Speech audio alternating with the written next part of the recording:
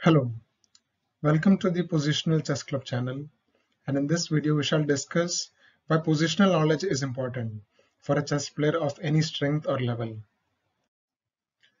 What's important to note here is that a strong chess player must have a really good knowledge of positions and a very good understanding of tactics as well. Let's look at an example. On the left you can see photo of Anatoly Karpov with one of the openings that he has attained mastery in, that is the Ruy Lopez. And on the right, you can see a snapshot from the game called Evergreen Immortal, played by the Adolf Anderssen.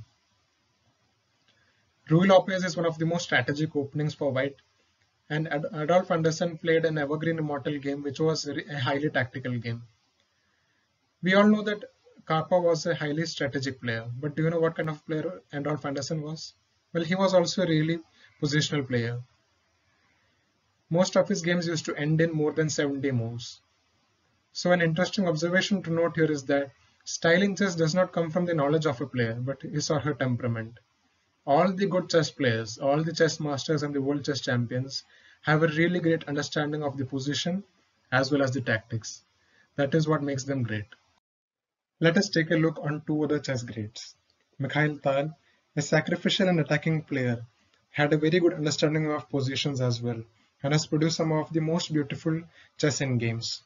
On the left side you can see a game of him versus Smyslov, an English opening game which lasted for 72 moves and Mikhail Tal played a flawless endgame. On the right side you can see a game of Petrosian and Spassky which was a Reti opening game and ended in 31 moves with Petrosian mating Spassky on board. One thing I've noticed from chess players of an intermediate strength is that they focus a lot on chess tactics and calculation, but they don't know how to make those combinations come alive on board. They give they give so much practice on those calculation part that they lose focus on the positional knowledge that a chess player requires. This can become a great hindrance to their improvement, as evaluation and improvement of one's chess position is critical to become a good player.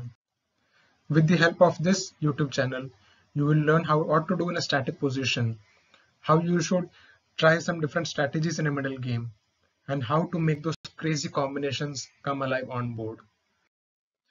I thank you for your precious time and I hope to see you in the future videos. So let's buckle up and get ready for the future ride.